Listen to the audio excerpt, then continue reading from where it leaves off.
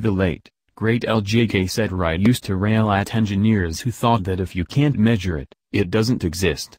There's an element of that in McLaren's starter sports series, particularly the 570S, where spectacular performance doesn't quite fill the soul. What McLaren has so far failed to understand is that at this level, $198,950 before state and federal taxes, its products need to appeal to more than just number-obsessed track junkies.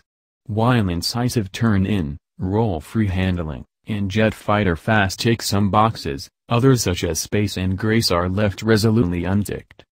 GT derives from the Grand Tour, a 17th-century European rite of passage cultural tour undertaken by well-heeled young blades anxious to see and hear the great works of art and music for themselves. Food, wine, and other earthly pleasures might also have been involved.